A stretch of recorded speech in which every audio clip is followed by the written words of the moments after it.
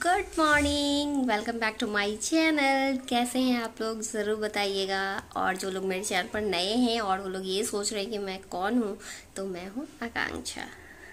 तो चलिए, आज का ब्लॉग शुरू करते हैं। और आज अभी मेरा पूजा ख़त्म हो चुका है और जस्ट मैं अभी पूजा करके बस चाय बना करके बैठी हूँ।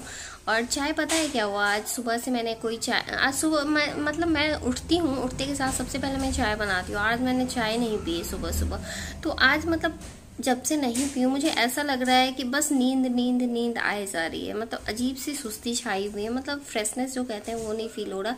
जैसे मैं पूजा करके उठी, पूजा करने से पहले भी आगा सकते यार, अभी नहीं करना, अभी नहीं करना, अभी नहीं करना। और जैसे ही पूजा करके उठी मैं तो बस मुझे लेटने का मन कर गया। मैं पाँच दस मिनट लेटी हूँ, उसके बाद जा करके चाय चाय बना करके ला, क्या आप लोगों के साथ भी ऐसा होता है? या सिर्फ़ मेरे साथ ही ऐसा होता है कि मतलब जैसे मुझे सुबह वाली चाय नहीं मिलती है ना तो मुझे फ्रेशनेस फील नहीं होती। तो लगता है जैसे अभी तक नींद आ ही रही है, नींद ही आ रही है, नींद ही आ रही है। ऐसा लगता रहता है। तो क्या आप लोगों के साथ भी ऐसा होता है? बताना मुझे ज़रूर कमेंट करके किस किस के साथ ऐसा होता है। और अभी बस मैं चाय पीऊँगी और उसके बाद कान्हा को दूध पिलाना है। बस यही दो काम अभी हैं। उसके बाद मैं आप लोगों से बात करूँगी बैठ करके ओके मैंने काना को अभी दूध अभी जस्ट पिला करके आई हूँ और मैंने सोचा कि चलो अभी मैं उठी हुई हूँ तो सारा काम अपना फिनिश कर ही लेती हूँ दोपहर का। तो मैंने उसके लिए सोचा कि आज प्याज के पकौड़े वाली कढ़ी बनाती हूँ और चावल बनाऊँगी क्योंकि दाल चावल दाल चावल सारे लोगों को पसंद नहीं है डेली डेली खाना। तो आज कुछ अलग बनाते हैं, पकौड़े वाली, प्याज के पकौड़े वाली कढ़ी और चावल। तो उसके लिए मैंने प्याज कट करके रखा हुआ था। इसमें बेसन, नमक, हल्दी, गरम मसाला थोड़ा सा इन सारी चीज़ों को मिक्स करके मैं पकौड़े तल रही हूँ पहले। प्याज को मैंने बारीक बारीक काट लिया था ताकि उसके पकौड़े अच्छे से बनते हैं। तो ये मैं पकौड़े तल रही हूँ और पकौड़े तलने के बाद मैं थोड़े बड़े बड़े बना लेती हूँ ताकि क्या होता है ना कि जब कढ़ी के अंदर इसे डालते हैं तो ये गल के टूट जाता है। तो इसलिए मैं इसके थोड़े बड़े बड़े साइज़ के पकौड़े बना रही हूँ और जैसे ही पकौड़े बन जाएँगे तो फिर और दूसरी साइड मेरा चावल चढ़ा हुआ था जो कि हो चुका है और उसे मैंने बंद कर दिया है फ़िलहाल। क्योंकि चावल हो गए हैं। और थोड़े से बर्तन पड़े हुए हैं तो मैं सोच रही हूँ कि जैसे ये ख़त्म हो जाएगा तो उसके बाद मैं बर्तन को भी क्लीन कर लूँगी तो मेरा किचन का काम दोपहर का ऑलमोस्ट ख़त्म हो जाएगा।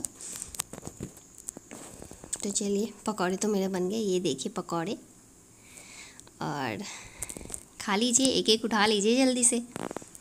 तो चलिए, इसमें मैंने हींग और राई का तड़का लगाया है, और फिर उसमें मैं कढ़ी डाल रही हूँ। हल्दी भी मैंने इसी में घोल दिया था।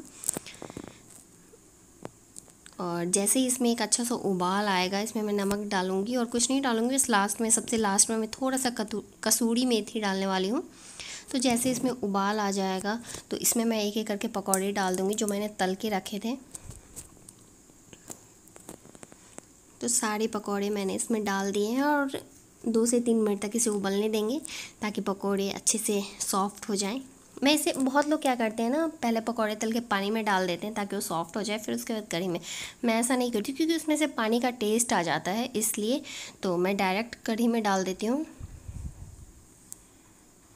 तो चलिए, मेरी कढ़ी बन करके तैयार हो गई है, इसे ढक देते हैं। बहुत ही टेस्टी लग रही है ना, देखने से यमी मैं सारा काम फिनिश करके आ गई हूँ आपसे फिर से बात करने के लिए और पता है, मैं जब किचन में गई तो मैंने सोचा कि चलो यार, जब आ ही गई हूँ किचन में तो मैं दोपहर तो का लंच बना ही लेती हूँ। मैंने लंच बनाया खाना को दूध पिलाया और मैंने अपने लिए मैंगो सिक बनाया। सारा काम करके फिनिश करके और मैं अब आके बैठी हूँ बस। और मैं सोच रही हूँ कि एक मतलब मुझे एक आप लोगों से बात शेयर करनी थी, आप लोगों को एक बात बतानी थी। जो लोग मेरे बिहार से बिहार से स्पेशली बिहार के लोगों के लिए ये बहुत ज़्यादा इंपॉर्टेंट है, बहुत ज़्यादा मायने रखता है। अभी आप लोग बहुत ज़्यादा न्यूज़ में सुन रहे सुन रहे होंगे कि चमकी बुखार।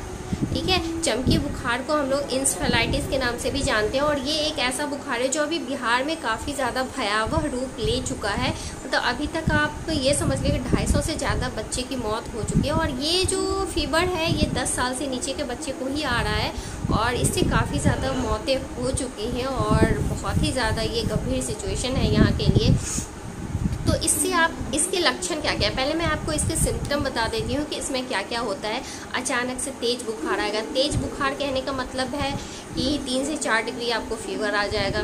बच्चे को ठंडी चीज़ें पसंद आ जाती हैं। वो जैसे ही बिस्तर पे जाएगा, उसको अचानक से बुखार आएगा। उसका जो पूरा बॉडी है, वो ऐसे ऐसे थरथराने लगता है, काँपने लगता है उसका। और दूसरा लक्षण, और तीसरा जो लक्षण है, वो है कि उसकी आँखें लाल होने लग जाएँगी।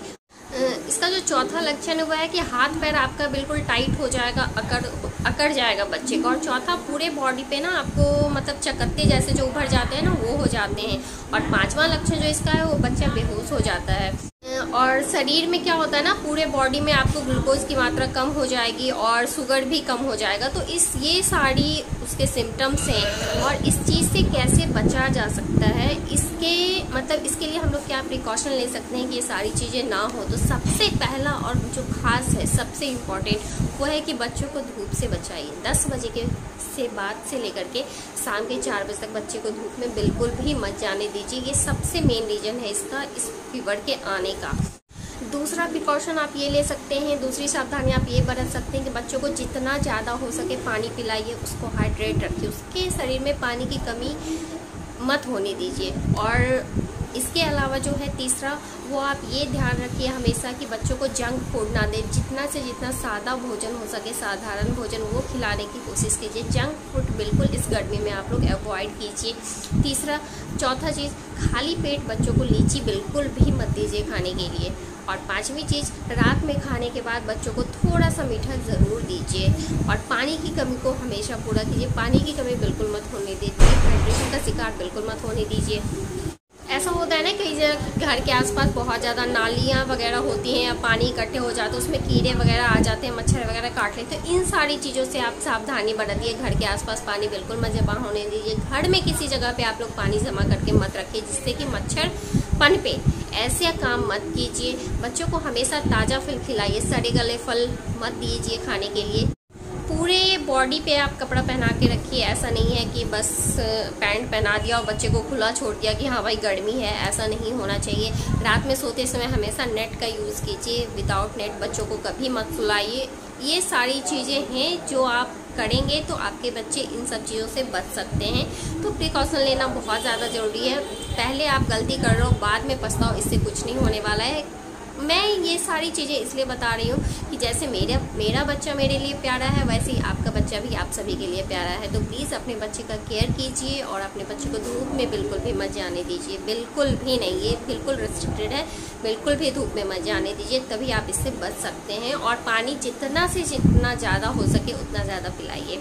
तो मैं आप लोगों से यही चीज़ें शेयर करने वाली थी, जो मतलब मुझे ऐसा लगा कि मुझे करना चाहिए ये सारी चीज़ें आप लोगों के साथ शेयर शायद हो सकता है मेरे शेयर करने से किसी एक का जान बच जाए, ऐसा हो सकता है। तो चलिए, मैंने शेयर कर दिया। अगर आप लोगों को अच्छा लगे तो प्लीज़ मेरे चैनल को सब्सक्राइब कर लीजिएगा। सब्सक्राइब करने के लिए नीचे रेड कलर का सब्सक्राइब बटन है, उसे प्रेस कीजिएगा और बगल में बेल आइकन आएगा, उसे दबाना बिल्कुल मत भूलिएगा, ताकि मेरे नए वीडियो के अपडेट्स आपको मिलते रहे। तो चलिए, मैं फिर मिलूँगी नेक्स्ट वीडियो में। तब तक के लिए bye good night take care